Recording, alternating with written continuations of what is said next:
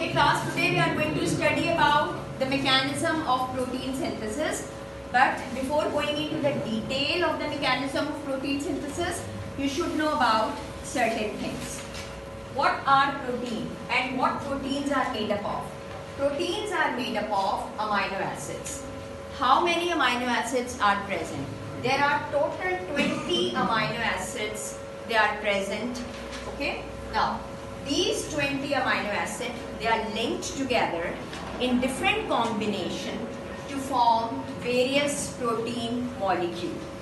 Now, the question it arises that which structure decides the arrangement of amino acid in a protein molecule. The arrangement of amino acid in a protein molecule is decided by gene. Now what is gene? The whole DNA is divided up into sections. These sections are called gene. Now what is gene? Gene is a unit of inheritance. Each gene is responsible for one protein molecule. Yani each gene is responsible for the coding of one protein molecule that is one character. Clear? Now, are various stages of mechanism of protein synthesis. Number one, the DNA it get unwind and unzipped. This DNA is located inside the nucleus. Whereas we all know that the protein synthesis it occurs in the ribosome. And where the ribosomes are located? Ribosomes are located in the cytoplasm. So the coding for the specific protein molecule is located in the DNA but its synthesis will occur in the ribosome. That means there must be certain nucleic acid which could copy the information or the coding which is exposed by this gene. Clear? Now, so at first what happens, so there are several steps. At first what happens, the DNA will get unwind and unzip exposing its base sequence. Now, each triplet code will code for one specific amino acid. Triplet code means three consecutive nitrogen bases will code for one specific amino acid. Now, when they expose their base sequence, then the nucleotide of messenger RNA which are present in the cytoplasm, they will come one by one and start copying this information. Now, adenine will get copied by uracil because the RNA, it doesn't contain thymine in it. It contains uracil. The adenine will bond up with uracil. Thymine will bond up with adenine. Thymine will bond up with adenine and cytosine will bond up with guanine. In this way, the whole DNA, the whole gene get copied by the nucleotide of the messenger RNA.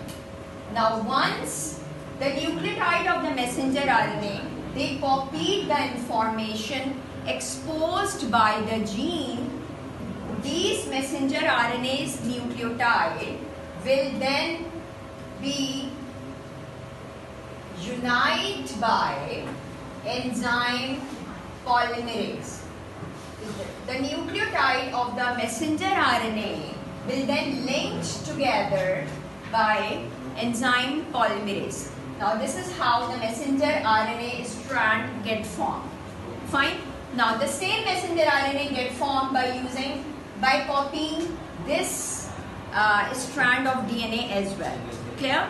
Now ATT codes for uh, this protein uh, amino acid then TAA will code for the same amino acid. Is this clear? Now complementary means that if ATT codes for this amino acid then this TAA will code for the same amino acid. Now, now the messenger RNA gets synthesized. Now the bonding between this AU, between the messenger RNA strand and the DNA strand will break open. This bonding will break open and the messenger RNA will move out of the nucleus and settle itself in the smaller unit of the ribosome. Clear? And expose its first six base sequence. Now, the transfer RNA, they are located in the cytoplasm. Each transfer RNA will carry the specific amino acid and it contains the respective nitrogen bases. Now, these are known as codon which are located on messenger RNA whereas these are known as anticodons. Now, uracil will get copied by the transfer RNA. Which transfer RNA? Carrying amino acid, which uh, sorry, which nitrogen base? Adenine. Adenine will get copied by uracil. Adenine will get copied by uracil, and the amino acid which will um, uh, which is attached to this transfer RNA is this one. Fine. Now, the next transfer RNA will come. Now, which transfer RNA will come?